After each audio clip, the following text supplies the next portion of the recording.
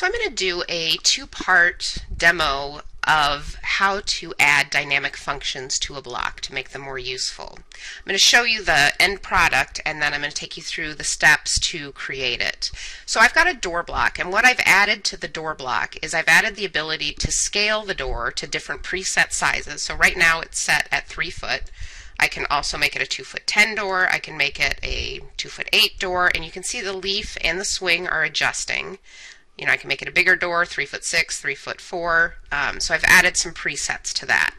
So the second action that I've added to the door block is the ability to flip it. So I can flip it in both directions, both horizontally and vertically. So I can flip it this way, I can also flip it this way. And I also am maintaining the ability to scale the door.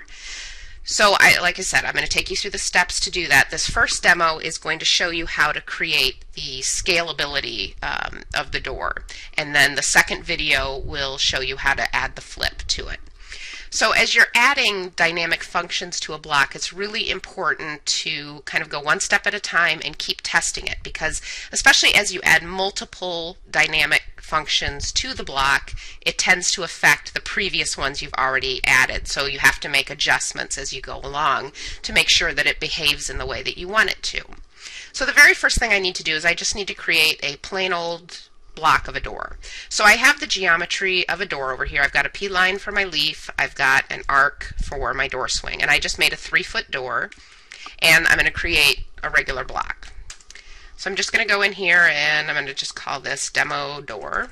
I'm going to pick my base point, which is going to be the corner of the leaf. And then I'm going to select my objects. And then just click OK. So now I have just a regular old door block. I'm going to open this in Block Editor and then I can add the dynamic functions to it. So I'm going to double click on the door, click OK, and now I'm in the Block Editor. And I want to look at these block authoring palettes. There's a series of um, different items on the different tabs. So you've got parameters, you've got actions, you've got parameter sets and constraints. Parameter sets are kind of nice because they build in a parameter with an action. So you don't have to put that parameter in and then add the action. So this is where we're going to start. I'm going to start with a linear stretch. So it adds a linear parameter and tells it that I want to stretch um, on one side. So I'm going to select that and I'm going to add my start point, which is going to be the space point, the corner of my door and it's asking for the end point and I'm going to come over here and select the end of my door swing. And I'm just going to pull the label down a little bit and you can see it adds this grip here. Now the other thing it adds is this stretch action and the next thing we need to do is we need to define what that stretch is going to be. So I'm going to um, right click on that and open up this action selection set. And what I want to do is I want a new selection set so it's asking me to add my stretch frame. So it's it's like if you were in the stretch command and you have to do the crossing window to show what you want to stretch. So what I want to stretch is the end of my door. Um, we're going to stretch the door leaf and then we're going to have to do a scale on the door swing arc because the stretch doesn't work on the arc. It gets deformed. You have to use a scale. So we're going to start by stretching the door leaf. So I'm going to do my crossing window here. And then it's asking me to select objects. I only want to select the door leaf. So then I'm going to hit enter. So now let's take a, a look at how our action is working. I'm going to go to test block over here, which opens a new tab and allows me to test the action. So if I pull the grip over here, eh, that's not really what I want it to do, right? Because it's, it's pulling the door side to side instead of we want it to go up and down. So let's go back out of our test window and back into our block editor. What we want to do then is we want to select our stretch action and go into properties and we're going to look for this angle offset. Right now it's set to 0 and I want to set it to 90. So now let's go back into our test block and see how that works. Okay, so now it's moving the door in the direction I want to based on this grip point over here. So let's go back out of our test block window, and I periodically like to save my block as I'm going along too, just in case. So the next thing we want to do is we want to add a scale function to the arc. Um, and we're going to add it to the same parameter. So what we need to do is we need to look on actions because we've already got a parameter set. So we're going to go to actions now and select scale. Now the next thing it's asking me to do is select a parameter. Well I want to select my same linear parameter and it's asking me to select objects. So I'm going to select my arc and then hit enter. So now you can see it's added another action here. So again, let's go into our test block and see how it works. Let's pull this. Okay, that's looking pretty good.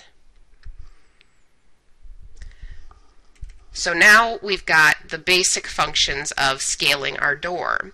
Now what we want to do is add in those preset um, uh, increments basically so that we can scale it exactly to a size. You know, this is kind of nice, we can scale it, but we want to be able to set it to precisely standard door sizes.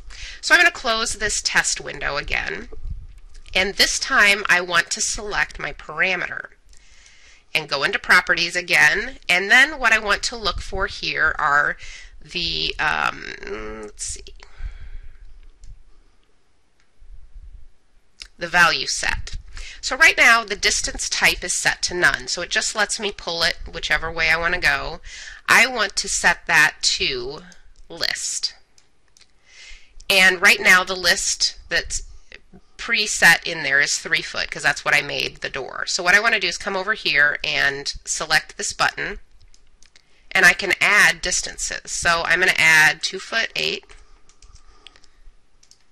two foot ten, three foot two, three foot four, and three foot six. You can add whatever you know whatever you think you might use, and you can always come back and add um, different ones later down the road if you find you're on a project that needs different sizes. So now I'm going to click OK. And now you can see I'm getting these little vertical lines that indicate those different increments. So again, let me test my block. And when I select this grip, it's going to lock in at these different um, sizes, and you can see they're they're being listed there in that that white box.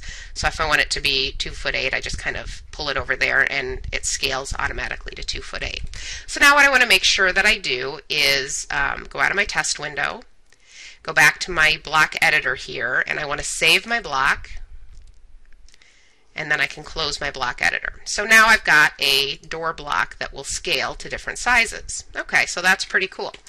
The next thing I'm going to do is I'm going to add the flip function. And I'm going to stop this demo here and then go to the next one just so the demos don't get quite so long. So if you want to figure out how to do the flip one, listen to the next one.